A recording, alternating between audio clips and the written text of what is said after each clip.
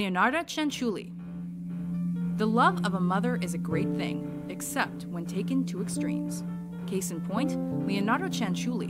In Italy in the late 1930s, Cianciulli's son was drafted. Believing only human sacrifices could keep her sonny boy safe, she brutally killed three of her neighbors. She then boiled them and turned them into tea cakes and soap, spawning her nickname, the Soapmaker of Correggio. Number 7. Myra Hindley. Derided by the press as the most evil woman in Britain, Myra Hindley and her partner Ian Cross carried out the Moors murders in the early 1960s. Their victims, whom they also tortured and sexually assaulted, were five children and teenagers.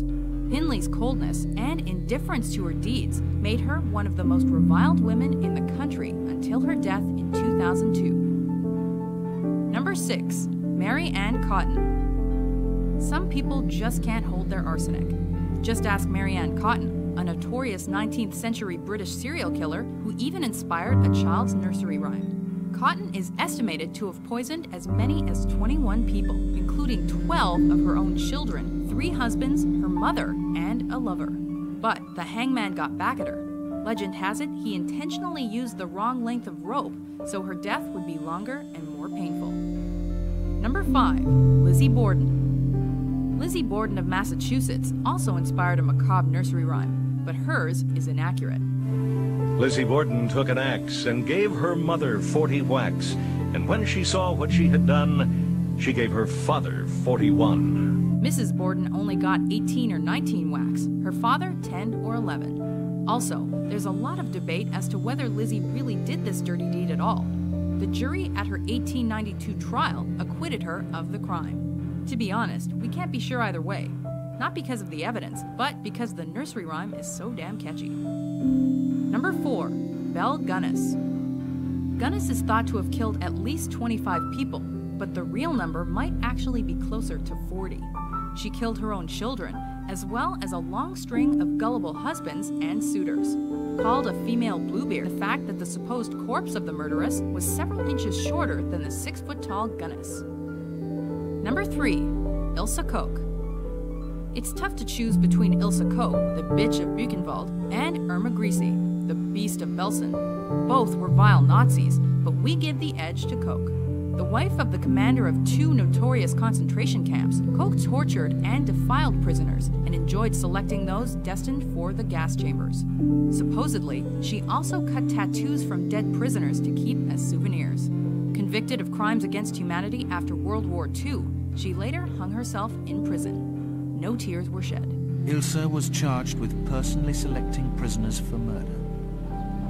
A gruesome selection of skins and shrunken heads was shown to the court. Number 2. Mary I of England. Kings and queens have been known to kill at the drop of a hat. Mary I of England, also known as Bloody Mary, was more systematic. Wanting to restore Catholicism to England, she simply burned a bunch of Protestants, 283 to be exact. Her most heartless murder may have been that of the Archbishop of Canterbury.